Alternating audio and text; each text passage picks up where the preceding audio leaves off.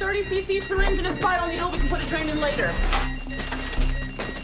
I have a massive phobia of needles.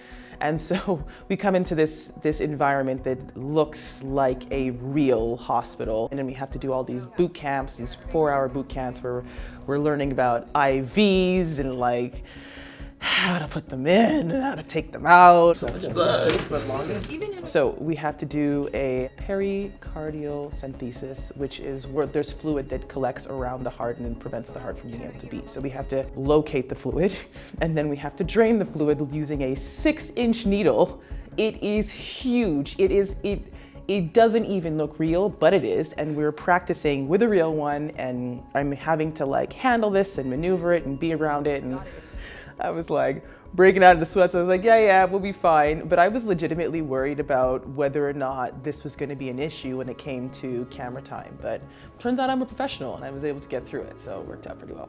I really channeled June on that. And I guess that's something that June and I don't have in common, which is she is very comfortable with like cutting people open and like doing all that stuff. It doesn't seem to bother her at all. Whereas I can't seem to stand up with a dummy and a fake needle, and let alone like myself and real needles. So, you know, she's helping me through that though.